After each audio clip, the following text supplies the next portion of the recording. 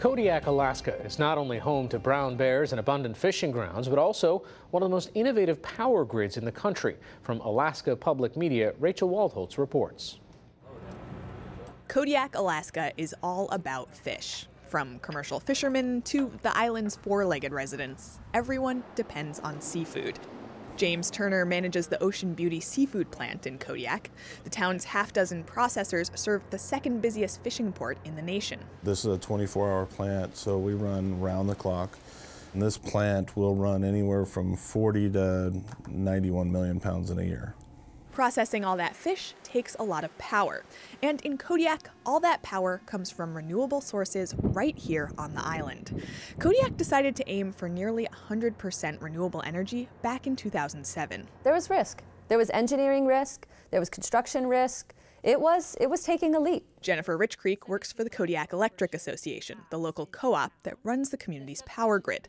A decade ago, the co-op had a problem the cost of diesel. Back in the 90s, Kodiak got just about all of its electricity from a hydro dam.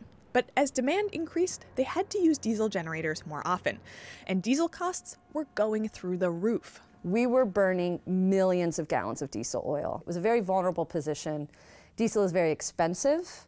Its price is very volatile. So the co op decided to harness something Kodiak has a lot of wind.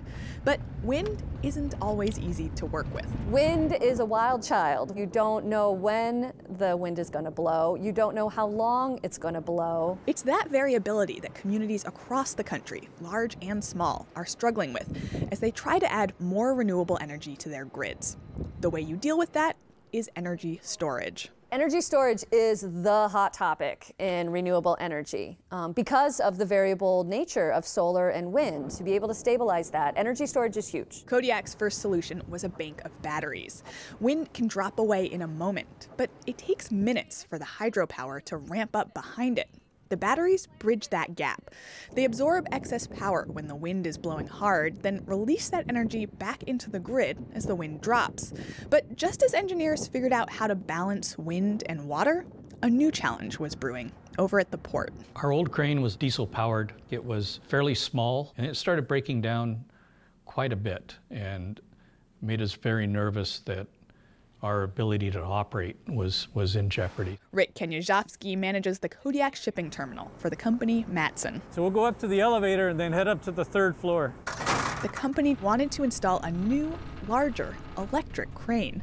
That was a big ask. How do we supply that much power that fast while maintaining all of the other power quality factors throughout the grid to keep it stable? So um, took some time to think about it, modeled it out, and um, came to the decision that flywheel can do the job. Just like the batteries, it's a kind of energy storage. A flywheel is a massive piece of steel spinning in a frictionless vacuum chamber hovered by magnets. In practice, it works a bit like the braking system on an electric car.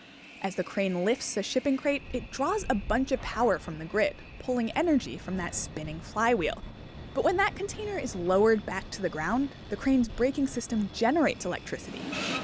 The flywheel stores nearly all the energy required to power the next lift.